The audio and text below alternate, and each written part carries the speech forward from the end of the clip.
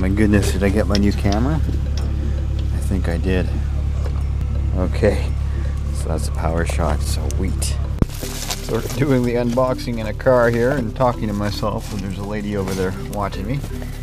But yes, that is the Canon ELPH 110HS. I used to have a 300 HS, of course, and then I put that through the washer. That's the story, and I killed it.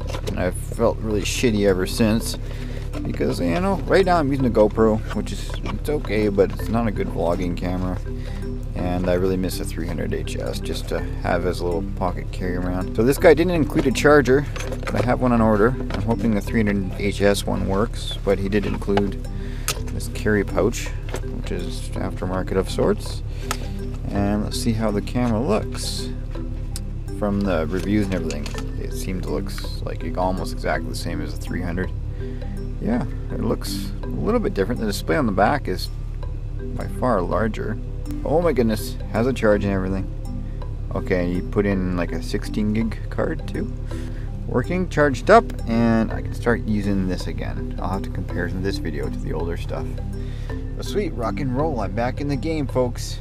That's been a month or so with uh, no vlogging camera. Man, I miss it. It was I was actually getting depressed because I wasn't vlogging. I didn't have a camera. Oh, there's my mom. Looky what I got. I got my camera. Yeah. All right, so I just turn that on quick, and there goes mom on her trip.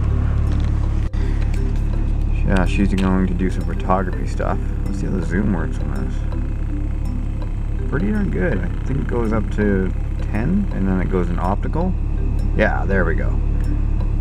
So the 300 did not have the optical and it did not have this big of a display. And I don't know how much background noise that's making in the film. So we will find out in a sec.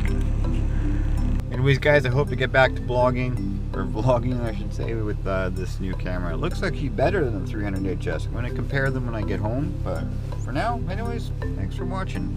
Here's some clips and shit.